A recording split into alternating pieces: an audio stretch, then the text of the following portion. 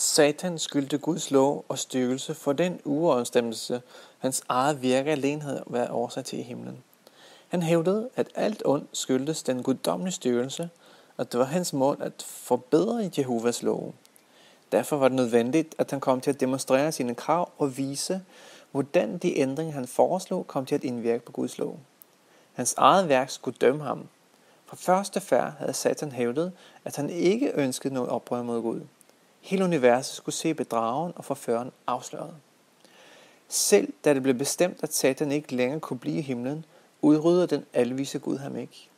Da Gud kun kan anerkende kærlighedstjeneste, må hans skabningers tilhørsforhold hvile på overbevisning om hans retfærdighed og velvilje. Da himlens og andre verdens beboere ikke var forberedt på at fatte syndens væsen og følger, ville ikke på det tidspunkt kunne se Guds retfærdighed og barmhjertighed, hvis han havde udryddet Satan. Hvis han med det samme var blevet udslettet af tilværelsen, havde det nærmet, havde det nærmere tjent Gud af frygt end af kærlighed.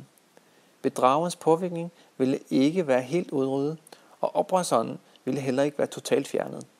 Det onde skulle have lov til at nå sin fulde udvikling. Til gang for hele universet, til evig tid må Satan udvikle sine principper fuldt ud, så man kan se hans beskyldninger mod det guddommelige styre i deres sande lys, så det for alle skabninger ikke kan være tvivl om Guds retfærdighed barmhjertighed, og om hans lovs uforandelighed. Satans oprør skulle være en lærer for universet i alle kommende tider, et uophørligt vidnesbyrd om syndens væsen og frygtelige følger. Satans herredømme og dets virkninger på både mennesker og engle skulle vise følgerne af tilsideside Guds myndighed.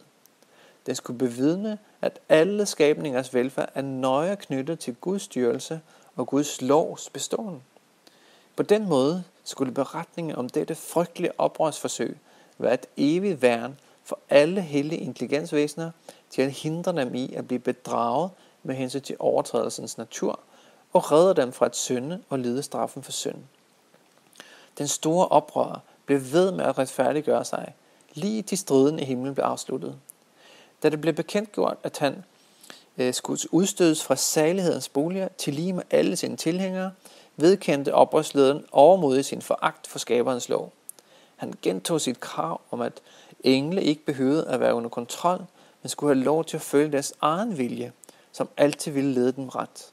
Han anklager de guddommelige vedtægter for at være en begrænsning af deres frihed, og erklærede, at det var hans hensigt at sikre lovens ophævelse, så himlens herskare kunne opnå en højere og mere gloværdig tilværelse, når de blev befriet fra disse snærende bånd.